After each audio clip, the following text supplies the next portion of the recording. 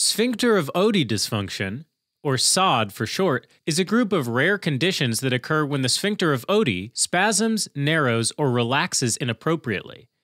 The sphincter of Oddi is a muscular valve located between the biliary tree and small intestine. It's responsible for regulating the flow of bile and pancreatic juices into the small intestine and preventing reflux of intestinal content into the biliary tree. With SOD, normal flow of bile and pancreatic juices is disrupted, leading to biliary pain, which is pain typically located in the upper right abdominal quadrant. There are three types of SOD. Type 1 consists of biliary pain, elevated liver enzymes, and a dilated common bile duct. Type 2 includes biliary pain and either elevated liver enzymes or a dilated common bile duct and type 3 includes biliary pain only. The cause of SOD is unclear, though risk factors include being assigned female at birth, age 20 to 50 years, and a history of gallbladder removal. The classic manifestation of SOD includes intermittent attacks of biliary pain, which is a type of colicky abdominal pain that is typically located in the upper right quadrant and can radiate to the back and shoulder. The pain can be mild to severe, lasts greater than 30 minutes, and can resolve spontaneously. These attacks feel and look similar to gallbladder attacks, though some individuals with SOD may not have a gallbladder. Other associated signs and symptoms may include nausea, vomiting, and pancreatitis, which is inflammation of the pancreas. Diagnosis of SOD begins with a thorough history and physical examination. Typically, other more common causes of biliary pain are ruled out first, including gallstones. If SOD is suspected, blood tests and imaging may be done to aid in diagnosis. Blood tests may show elevated liver and pancreatic enzymes in those with types 1 or 2. Imaging of the abdomen, including ultrasound, CT, and MRI, may be done, as well as a HIDA scan, which can assess how the liver, gallbladder, and biliary tree are functioning. The gold standard to confirm SOD is an endoscopic retrograde cholangiopancreatography, or ERCP, with manometry. An ERCP involves placing a camera down an individual's throat into their intestine to visualize the sphincter of Oddi, while also conducting manometry, which assesses the pressure and constriction of the muscle.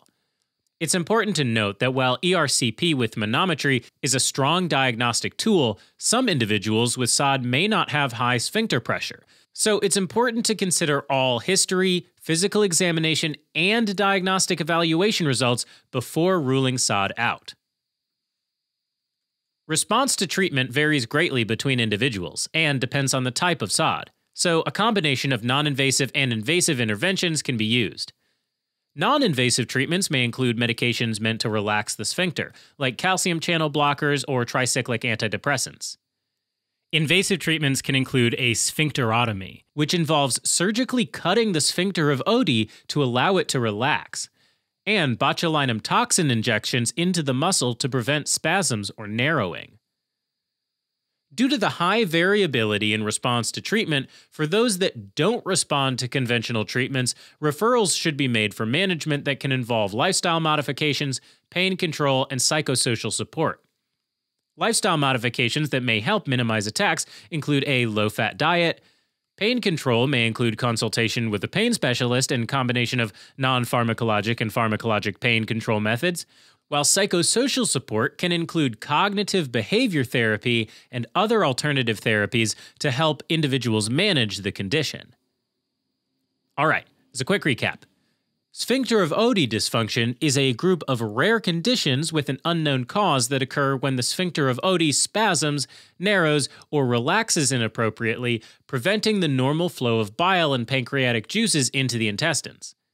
Signs and symptoms include intermittent attacks of biliary pain, typically located in the upper right quadrant, that can be mild to severe, last more than 30 minutes, and can resolve spontaneously.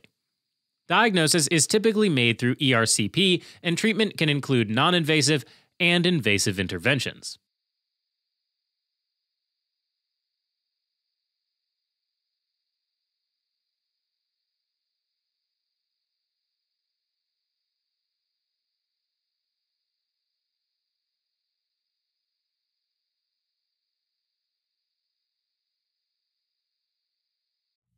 Helping current and future clinicians focus, learn, retain, and thrive. Learn more